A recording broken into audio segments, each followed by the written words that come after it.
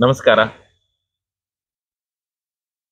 ನಾವು ಏನೂ ತಿಳಿಯದೇ ಇರುವಂತಹ ಒಬ್ಬ ವಿದ್ಯಾರ್ಥಿಗೆ ಅಥವಾ ಒಬ್ಬ ಮನುಷ್ಯನಿಗೆ ಎಲ್ಲಾ ರೀತಿಯಾದಂತಹ ಜ್ಞಾನವನ್ನ ಹೇಳ್ಕೊಡ್ಬಹುದು. ಆದರೆ ನನಗೆ ಎಲ್ಲವೂ ಗೊತ್ತು ಅಂತ ಅಂದುಕೊಂಡವನಿಗೂ ಅಥವಾ ಅಲ್ಲಿ ಇಲ್ಲಿ ಸ್ವಲ್ಪ ಸ್ವಲ್ಪ ಕೇಳಿ ಒಂದಷ್ಟು ವಿಷಯವನ್ನ ತಿಳ್ಕೊಂಡವನಿಗೂ. ನಾವು ಏನನ್ನೂ ಕೂಡ ಹೇಳಿಕೊಡೋದಿಕ್ಕೆ ಸಾಧ್ಯ ಇಲ್ಲ ಅಂತ. ಅದಕ್ಕೊಂದು ಸಣ್ಣ ಉದಾಹರಣೆ ಹೇಳ್ತೇನೆ. ಒಬ್ಬ ಸಂಗೀತ ವಿದ್ವಾಂಸನ ಹತ್ರ ಇಬ್ಬರು ಬರ್ತಾರಂತೆ. ಇಬ್ಬರು ಶಿಷ್ಯರು ಬರ್ತಾರೆ. ಅದರಲ್ಲಿ ಮೊದಲನೆಯ ಶಿಷ್ಯ ಹೇಳ್ತಾನೆ, ಗುರುಗಳೇ, ನಾನು ಆರೆಂಟು ತಿಂಗಳು ಸಂಗೀತವನ್ನ ಅಭ್ಯಾಸ ಮಾಡಿದ್ದೀನಿ ಅಂತ ಹೇಳ್ತಾನೆ. ಅದಕ್ಕೆ ಎರಡನೇ ಶಿಷ್ಯ ಹೇಳ್ತಾನೆ, ಗುರುಗಳೇ, ನಾನು ಏನಂದ್ರೆ ಏನೂ ಗೊತ್ತಿಲ್ಲ, ನಾನು ಈಗ ತಾನೇ ನಿಮ್ಮ ಹತ್ರ ಕಲಿಯೋಕ್ ಬಂದಿದ್ದೀನಿ ಅಂತ. ಯಾರು ಆರೆಂಟು ತಿಂಗಳು ಅಭ್ಯಾಸ ಮಾಡಿದ್ದೀನಿ ಅಂತ ಹೇಳ್ತಾನಲ್ಲ, ಅವನಿಗೆ ಆ ಗುರುಗಳು ಹೇಳ್ತಾನೆ, ನನಗೆ ನೀನು ತಿಂಗಳಿಗೆ ನೂರು ರೂಪಾಯಿ ಗುರುದಕ್ಷಿಣೆ ಕೊಡ್ಬೇಕಪ್ಪ ಅಂತ. ಅದೇ ರೀತಿಯಾಗಿ ಯಾರು ಏನನ್ನೂ ಅಭ್ಯಾಸ ಮಾಡಿ ಬಂದಿಲ್ವಲ್ಲ, ಅವನಿಗೆ ಹೇಳ್ತಾನೆ, ನೀನು ನನಗೆ ತಿಂಗಳಿಗೆ ಐವತ್ತು ರೂಪಾಯಿ ಕೊಡಬೇಕು ಅಂತ. ಆಗ ಆ ಅಭ್ಯಾಸ ಮಾಡಿದವನಿಗೆ ಅನ್ಸತ್ತೆ, ಏ, ನನಗೆ ಅವರು ಕಡಿಮೆ ಕೇಳಬೇಕಲ್ಲ, ಇವನಿಗೆ ಯಾಕೆ ಕಡಿಮೆ ಕೇಳ್ತಿದ್ದಾರೆ ನಾನು ಕಲ್ತ್ಕೊಂಡು ಬಂದಿದ್ದೀನಿ ಅಂತ. ಆಗ ಗುರುಗಳು ಹೇಳ್ತಾರೆ, ನೋಡಪ್ಪ, ನೀನು ಹೇಳುವುದನ್ನ ನಾನು ಕೇಳದೆ. ನೀನು ಹೇಳ್ತಾ ಇರುವಂಥದ್ದೆಲ್ಲವೂ ಕೂಡ ಬಹಳ ಸ್ವರ ಸಹಿತವಾಗಿಲ್ಲ ತಾಳ ಸಹಿತವಾಗಿಲ್ಲ ತುಂಬಾ ತಪ್ಪು ತಪ್ಪು ಹೇಳ್ತಿದೀಯ. ಅದಕ್ಕೆ ಏನ್ ಮಾಡ್ಬೇಕು ಅಂದ್ರೆ ನಿನಗೆ ಹಳೆಯದನ್ನ ಮರೆಸಬೇಕು, ಹೊಸದನ್ನ ಹೇಳ್ಕೊಡ್ಬೇಕು. ಅದಕ್ಕೆ ನಿಂಗೆ ನೂರು ರೂಪಾಯಿ. ಇವನಿಗೆ ನಾನು ಬರೀ ಹೊಸದನ್ನ ಹೇಳ್ಕೊಟ್ರೆ ಸಾಕು, ಅದಕ್ಕೆ ಇವನಿಗೆ ಐವತ್ತು ರೂಪಾಯಿ ಅಂತ ಹೇಳ್ತಾರೆ.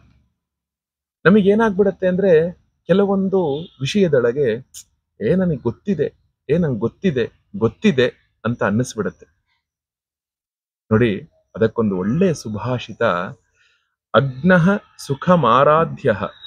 ಸುಖತರಂ ಆರಧ್ಯತೆ ವಿಶೇಷಜ್ಞ ಜ್ಞಾನಲವ ದುರ್ವಿದಗ್ಧಂ ಬ್ರಹ್ಮಾಪಿ ನರಂ ನರಂಜಯತಿ ಅಂತ। ಅಜ್ಞಾನ ಅಜ್ಞ ಅಂದ್ರೆ ಏನೂ ತಿಳಿದೇ ಇರುವವನು। ಆ ಏನೂ ಗೊತ್ತಿಲ್ಲದೆ ಇರುವಂತಹ ಒಬ್ಬ ಮನುಷ್ಯನಿಗೆ ಅವನಿಗೆ ಒಳ್ಳೆಯದನ್ನ, ಒಳ್ಳೆಯ ವಿದ್ಯೆಯನ್ನ ಹೇಳ್ಕೊಟ್ಟು ಅವನನ್ನ ವಿದ್ವಾಂಸನನ್ನಾಗಿ ನಾವು ರೂಪಿಸಬಹುದಂತೆ। ನಾವೇನ್ ಮಾಡಬಹುದು? ಒಬ್ಬ ವಿದ್ವಾಂಸನನ್ನಾಗಿ ನಾವುಗಳು ಅವನನ್ನ ರೂಪಿಸಬಹುದು. ಆದರೆ ಜ್ಞಾನಲವ ದುರ್ವಿದಗ್ಧಂ. ಜ್ಞಾನಲವ ಅಂದ್ರೆ ಏನು? ಅಂದ್ರೆ ಏನೋ ಅಲ್ಲಿ ಇಲ್ಲಿ ಒಂದ್ ಸ್ವಲ್ಪ ಸ್ವಲ್ಪ ಕೇಳಿರೋದು. ಸ್ವಲ್ಪ ಸ್ವಲ್ಪ ಕೇಳಿಬಿಟ್ಟು, ಓ, ನಂಗೆಲ್ಲ ಗೊತ್ತಿದೆ. ಏ, ನಾನೆಲ್ಲ ತಿಳ್ಕೊಂಡ್ಬಿಟ್ಟಿದ್ದೀನಿ ಓ, ಇಷ್ಟೇನಾ? ಅಂತ ಆ ಒಂದಷ್ಟು ಅಲ್ಪಜ್ಞಾನಿ ಅಂತ ಏನಿರ್ತಾನೆ. ಆ ಅಲ್ಪಜ್ಞಾನಿ, ಸ್ವಲ್ಪ ಅಲ್ಪವನ್ನ ತಿಳ್ಕೊಂಡವನು ಏನಾಗ್ಬಿಡ್ತಾನೆ? ಅಂಥವನನ್ನ ವಿದ್ವಾಂಸನನ್ನಾಗಿ ಮಾಡಕ್ಕೆ ಬ್ರಹ್ಮಾಪಿ ನರಂ ನ ರಂಜಯತಿ. ಬ್ರಹ್ಮನಿಂದಲೂ ಕೂಡ ಸಾಧ್ಯ ಇಲ್ಲ ಅಂತ. ಆ ಚತುರ್ಮುಖ ಬ್ರಹ್ಮನೂ ಕೂಡ ಆ ಸ್ವಯಂ ಜ್ಞಾನಿ ಅಂತ ಯಾರು ಅಂದ್ಕೊಂಡ್ ಬಿಡ್ತಾನೆ ಸ್ವಯಂ ಪ್ರಾಜ್ಞಾ ಅಂತ ತನ್ನನ್ನು ತಾನು ಅನ್ಕೊಂಡ್ಬಿಡ್ತಾನೆ. ಏನೂ ಗೊತ್ತಿಲ್ಲದೆ ಇದ್ರೂ ಕೂಡ ನನಗೆ ಎಲ್ಲ ತಿಳಿದಿದೆ ಅನ್ನುವಂತಹ ಭಾವವನ್ನು ಹೊಂದ್ಬಿಡ್ತಾನೆ. ಅವನಿಗೆ ಯಾರೂ ಕೂಡ ಯಾವ ರೀತಿಯಿಂದಲೂ ಕೂಡ ಒಂದು ತಿದ್ದಿ ವಿದ್ಯಾವಂತನನ್ನಾಗಿ ಮಾಡೋದಿಕ್ಕೆ ಸಾಧ್ಯ ಇಲ್ಲ.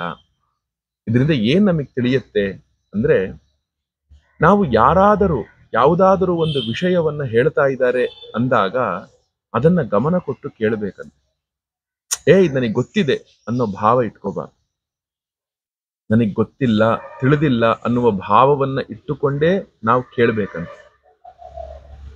ಆಗ ಏನಾಗತ್ತೆ ಅಂದ್ರೆ ನಮಗೊಂದಷ್ಟು ವಿಷಯ ಗೊತ್ತಿದ್ರೂ ಕೂಡ ನಮಗೆ ತಿಳಿಯದೇ ಇರುವಂತಹ ವಿಷಯವನ್ನ ಸಾಕಷ್ಟು ಅವರು ನಮಗೆ ತಿಳಿಸ್ಕೊಡ್ತಾರೆ.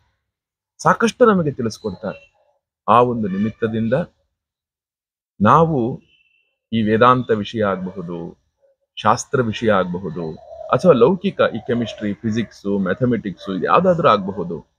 ಅದನ್ನ ಯಾರೋ ಒಬ್ರು ನಮಗೆ ಒಂದು ವಿಷಯ ತಿಳಿಸ್ತಾರೆ ಅಂದಾಗ ನಾವೊಂದು ಸ್ವಲ್ಪ ಮನಸ್ಸನ್ನ ಸಮಾಧಾನವಾಗಿಟ್ಟುಕೊಂಡು ಅವ್ರು ಹೇಳೋದನ್ನ ಪೂರ್ತಿ ಕೇಳಬೇಕು. ಯಾಕೆ ಅಂದ್ರೆ ಅವರೊಳಗೆ ಎಷ್ಟು ವಿದ್ಯೆ ಇದೆ, ಯಾವ ಒಂದು ತರಹ, ಯಾವ ಒಂದು ರೀತಿಯಾಗಿ ಅವರು ಆ ಗಣಿತದ ಅಥವಾ ಒಂದು ವೇದಾಂತದ ವಿಷಯವನ್ನ, ಉಪನಿಷತ್ ವಿಷಯವನ್ನ ತಿಳಿಸ್ತಾರೆ ಅನ್ನೋದು ನಮಗೆ ಗೊತ್ತಿಲ್ಲ. ಈಗ ನೋಡಿ, ಸಾವಿರಾರು ವಿದ್ವಾಂಸರು, ಸಾವಿರಾರು ಜನ ಈಶಾವಾಸ್ಯ ಉಪನಿಷತ್ತನ್ನೇ ಪಾಠ ಮಾಡಿದ್ರು ಕೂಡ ಅದು ಸಾವಿರಾರು ತರಹವೇ ಹೊರಗಡೆ ಬರುತ್ತೆ. ಯಾಕೆ? ಅವರು ತಿಳಿದುಕೊಂಡಿರುವಂತಹ ಬುದ್ಧಿಮತ್ತೆ ನಮಗೆ ತಿಳಿಯದೇ ಇರುವಂಥದ್ದು ಅನೇಕ ವಿಷಯವನ್ನು ನಾವು ತಿಳಿಸಬಹುದು. ಆದ್ರಿಂದ ನಾವು ವಿದ್ಯಾರ್ಜನೆಗೆ ಅಂತ ಕೂತಾಗ ಏನೂ ತಿಳಿಯದೇ ಇರುವ ರೀತಿಯೇ ಕೂಡೋಣ. ಆಗ ನಮಗೆ ಆ ವಿದ್ಯೆಯಲ್ಲಿ ಒಂದು ಪ್ರಾವೀಣ್ಯತೆ ಸಿಗತ್ತೆ ಅಂತ ಹೇಳ್ತಾ ಈ ಒಂದು ಸುಭಾಷಿತವನ್ನ ಮುಕ್ತಾಯ ಮಾಡ್ತೇನೆ. ಕೃಷ್ಣಾರ್ಥ